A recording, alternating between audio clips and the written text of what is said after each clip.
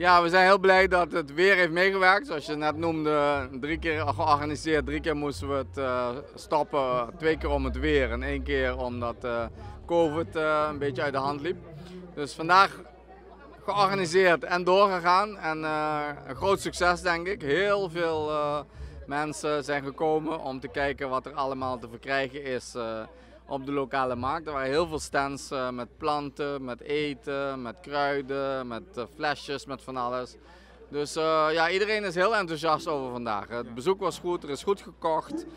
de mensen vinden het leuk om te zien bij LVV wat er allemaal gebeurt. Informatie te krijgen over alles wat ze kunnen doen op het gebied van planten en het houden van dieren. Dus een groot succes. Um, hoe wordt het meerdere keren georganiseerd? Ja, ik ben van plan om het ieder kwartaal ongeveer te organiseren. Dus we zijn even aan het kijken. Dus of iedere drie maanden of iedere vier maanden. En dan, uh, nou ja, gezien het succes van vandaag, kijken of we nog iets groter kunnen maken.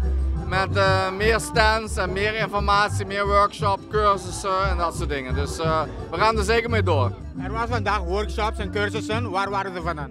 Ja, vandaag hadden we dus verschillende workshops, onder andere over het zelf maken van aarde, het planten van groenten, we hadden over het snijden van mais en het oogsten van mais, het, eh, wat we noemen um, het verzamelen van uh, graan en, en grassoorten. we hadden een stukje over geitenteelt, over het merken van hun oren en zo. Dus waren verschillende workshops, ook goed bezocht door de mensen. Um, dus ja, het is zeker de moeite waard om het nog een keer te organiseren.